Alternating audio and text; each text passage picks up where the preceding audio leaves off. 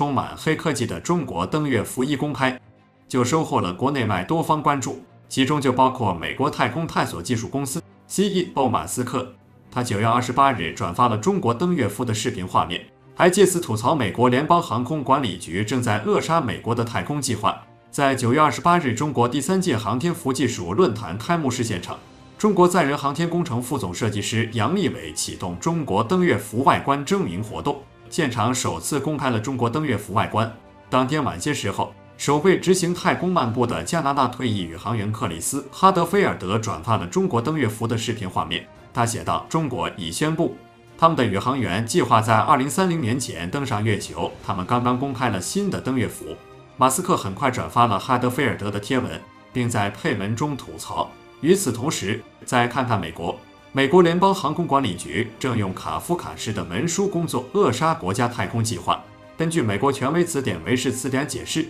卡夫卡式一指具有噩梦般复杂、怪异或不合逻辑的特点。央视新闻报道，登月服外观设计灵感借鉴了诸多中国元素。自2020年启动研制以来。登月服聚焦复杂环境综合防护，人服能力提升，以轻量化、小型化、高安全、可靠为目标，突破了多项关键技术，确立总体技术方案，为我国首次载人登月任务的实施奠定了坚实基础。值得一提的是，近期美国太空探索技术公司和美国联邦航空管理局的紧张关系持续升级，争端集中在联邦航空管理局对美国太空探索技术公司去年两次违规发射处以的巨额罚款。以及拖延批准新建的第五次试飞，马斯克早前强硬表态称，美国太空探索技术公司将对联邦航空管理局提起诉讼，指控其监管过度。九月二十六日，马斯克再度炮轰联邦航空管理局一无是处，越来越多的新机构和随之而来的不合理监管，